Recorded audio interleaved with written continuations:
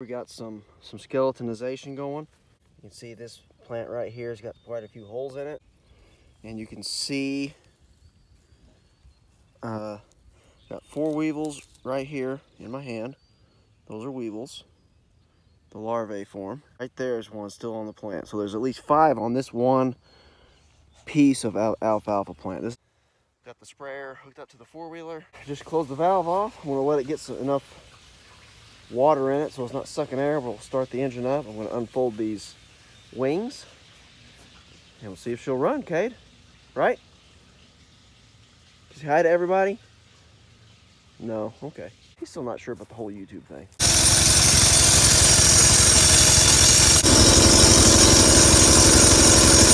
Spraying some malathion. Uh, it's an insecticide. Application rate is two pints per acre. There's one gallon here, so there's eight pints in this. I've got four acres, so we're gonna use one whole gallon.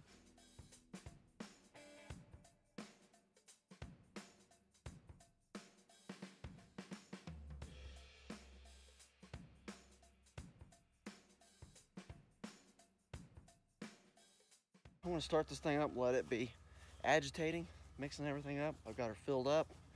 Get my long sleeve shirt on, get my gloves on.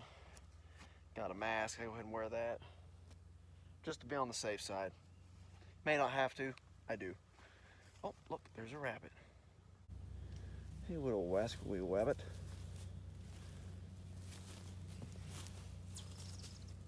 And if you noticed in the time lapse, I put two jugs in because I remembered I'm gonna spray the alfalfa grass mix in the back.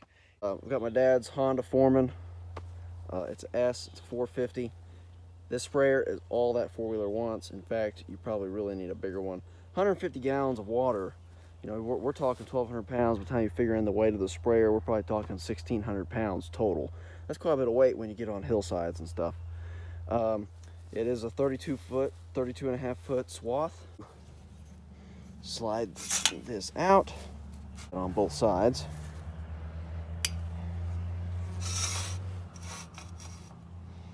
Right about in there. Pretty good. Crank that down. We're ready. We'll spray some alfalfa.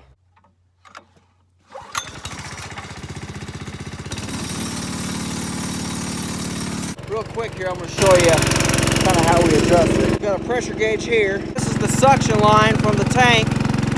Pressure line out of the pump. We go here and we tee off. This here filters and goes to our spray nozzles, goes to the control circuit up here. And then this here is a bypass. So if I open this all the way up, that's bypassing all that it can. Actually, it's bypassing 100% right now. See, my pressure drops.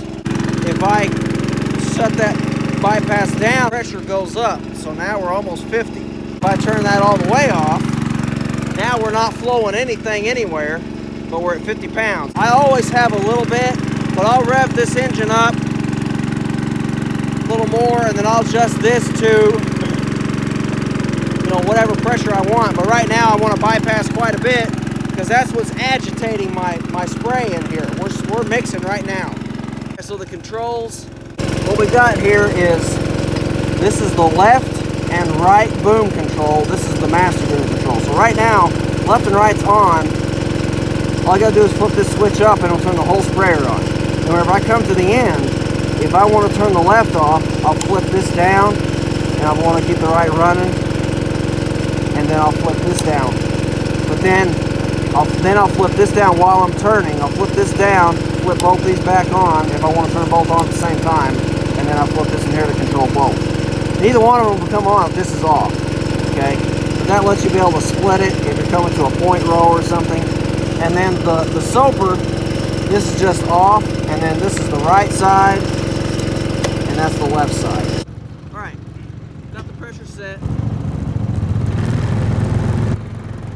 Ready to roll. I'm to go around the field once. That'll give me my ends and everything that I need to be able to turn around and get 100% coverage.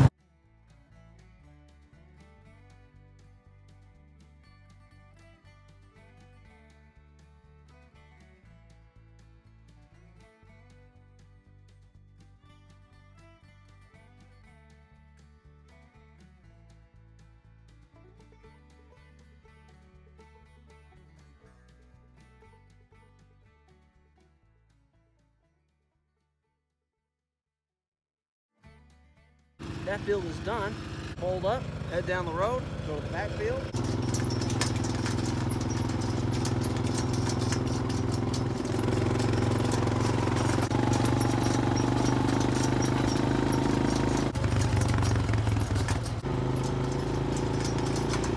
There's not a whole, whole lot of alfalfa out here, but there's a decent amount. So I definitely want to go ahead and spray it, keep what alfalfa's here.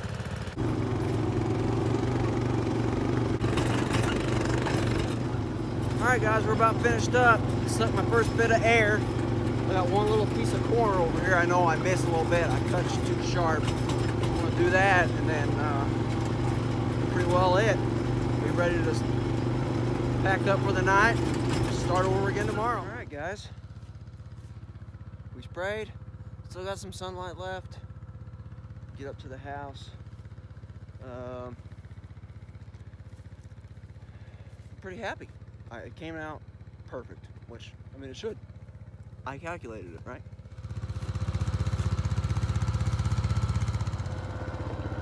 Yeah, yeah!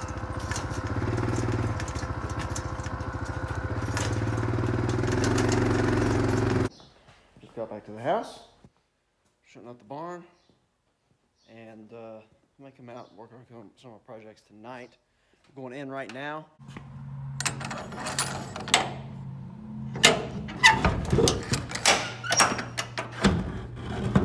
Cleaned up, take a shower, and uh, I'll catch up with you guys tomorrow. We're gonna spray some 2,4-D on that back field, that new new planting orchard grass that I planted last fall, and then uh, we'll go from there. Whew. I got home from work, put the hose in the sprayer, go ahead and start filling her up. Went in, changed my clothes, got caught up on a couple phone calls, and I thought, oh shoot, I left the water running. Let's see just how full we are here. Ain't getting much fuller than that. It's late. I didn't get to spray today, but I went ahead and filled it with water, so I, that'd be that much less I have to do. Today, we are spraying Diester LV4. It's a off-brand 2,4-D. Ah. Does anybody else love tires as much as I do? No? Didn't think so. Much gooder, much gooder. All right, now we can get to it. All right, guys, getting ready to spray. Just trying to see if my right soaper's gonna work or not. Ah, beautiful day, guys. The wind held off. It's nice and sunny, as you can tell. Blue skies, cumulus clouds. Got the old girl loaded up. I'm gonna take the sprayer to the next guy on the list. It's a friend of ours, so I'm just gonna take it on over. He's over by my dad's house. Take the four-wheeler to dad's, and I'll just drop this by his house. Uh, rather than him having to come all the way over here to get it. Got our spraying done. We sprayed 2,4-D on the new planting of orchard grass. Sprayed the alfalfa for weevils. Just listen to that. Oh, oh. beautiful, beautiful sound to my ears. That's gonna be it for this video, guys. Really appreciate you watching. Uh, I'll do, do an update, see how the 2,4-D worked on the weeds, and to see how the malathion worked on the alfalfa weevils. That's the first time I ever used malathion for alfalfa weevils. Um, hopefully it works good. Time will tell though. So, uh, you guys have a great day. Thank you for watching. Thank you very much, guys, for all the support. Um, you know the drill. God bless you. God bless America. Franklin County Forage out.